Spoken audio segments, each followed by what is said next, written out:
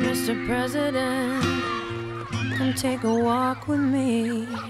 My name is Lyric, and I'm in class one, and I want to be a doctor when I grow up. My name is Tracy. I'm in class six, and I would like to be a marketing manager when I grow up. My name is Simran, and I'm in class six, and I'd like to be a lawyer when I grow up.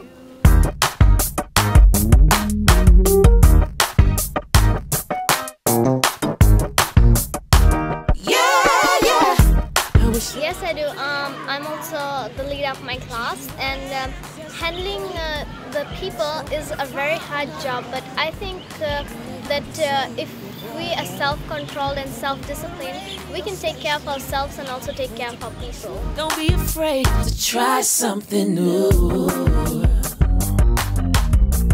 As girls grow up, they learn that young women are meant to be seen and not heard.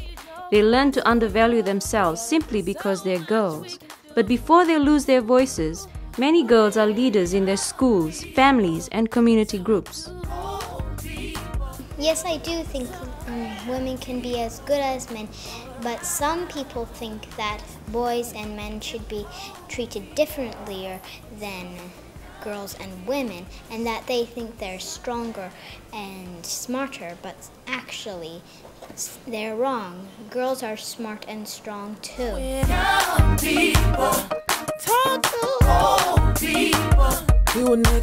The Fiji Women's Rights Movement is helping young women reclaim their voices through the Emerging Leaders Forum, known as ELF. It's a year long program where young women leaders get to learn about and debate issues like feminism, democracy, trade, and the environment while having fun, of course.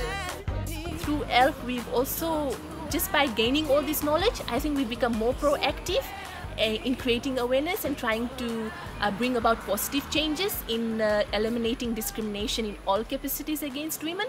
I know I'm going to be learning more from ELF, but from all the meetings that we've attended so far and the um, one retreat we've had, um, that's what I can only say that we've learned so far.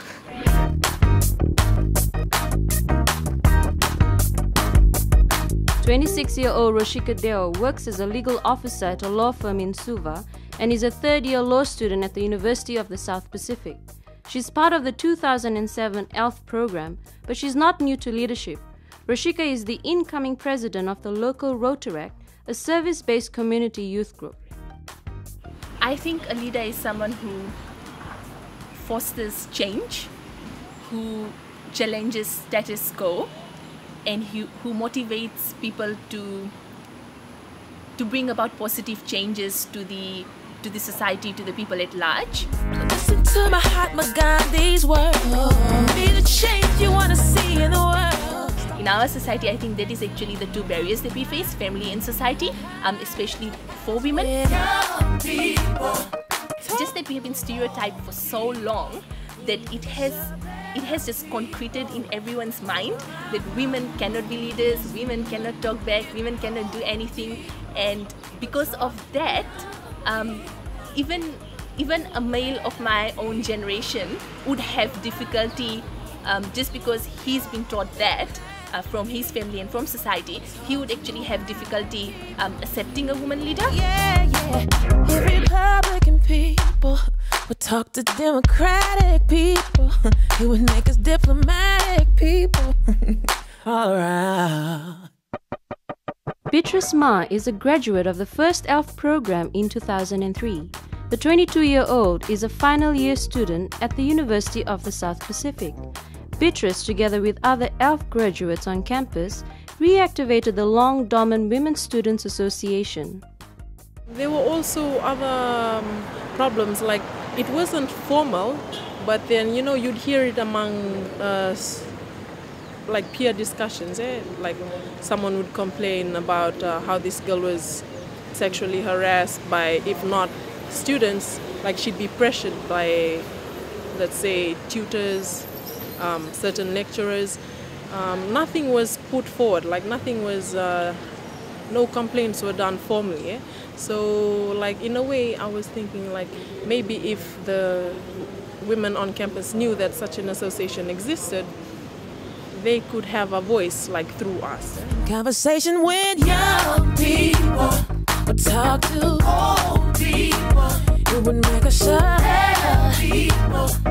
All around. Johanna Mitchell is a well known face around Fiji's capital. The 27 year old entrepreneur started in the coffee business at 19 and now owns two kahawa cafes in central Suva. I like to, to say to the young women to think outside the box, you know, and think that you are, you know, able to do what you want to do in sport, in business, in school, you know, and, and you see more young women achieving more and more these days when they believe in themselves and they've got their families going, oh, you can do anything, you know, um, and that's what it's all about, huh? just believing in yourself.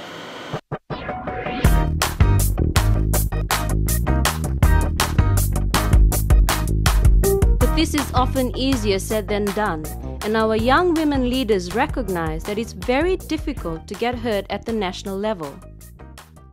There were few women in the elected government, and in the interim, there's even less, right?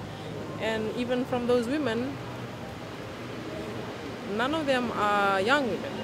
And it's difficult just being a woman. And to be a young woman, oh my, that's even worse because, like, who's going to listen? If men can't even listen to women, like older women, how are we supposed to even be heard? Eh? It's even harder to be heard in post conflict situations where political upheaval leads to economic woes, and the last voices listened to are young women. Really, at the end of the day, it's not about you and me, it's about the power people up there going at each other. And we're all just trying to survive, put you know food on the table, and I think that's the way everybody's thinking. Business has obviously slowed down a bit, but um, you just see everybody walking around trying to make things happen and you know get on with it. Yeah. Have I been sleeping? Pacific governments need to get on with it too.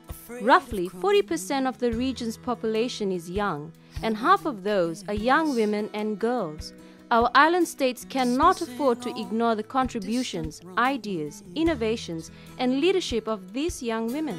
Take me where I am supposed to be. Every day, they are being the change in their communities. Listen to what they have to say. Cause I need to move.